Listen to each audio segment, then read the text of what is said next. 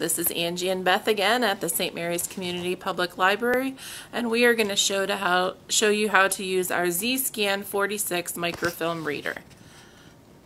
There are uh, a little visual tutorial down here on how to load the microfilm.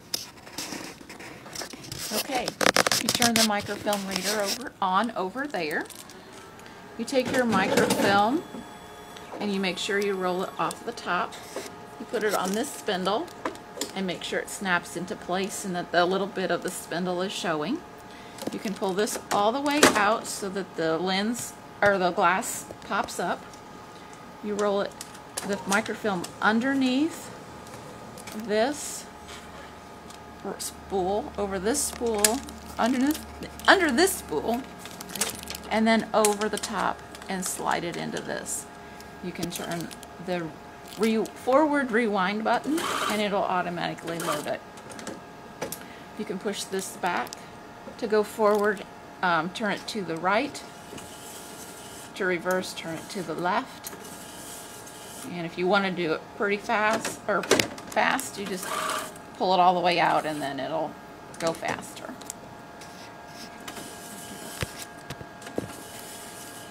Okay.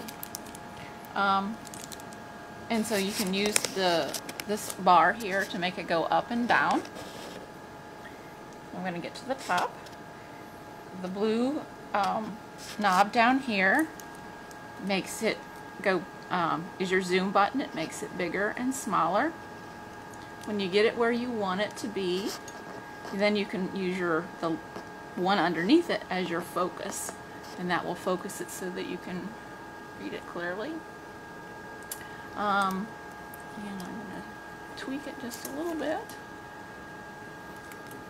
So if I wanted to print this, it, I've lined it up so that it prints in this square.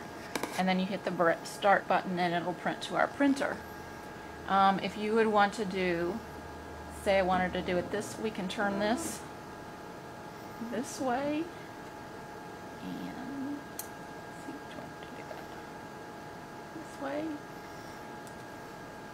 Uh, no. I can do it landscape. Then I'd have to hit this outputs and put it on cassette one and it would print um, between these little um, corner pieces. Turn it around this way. Um, when you're done, you just pull this out and rewind it.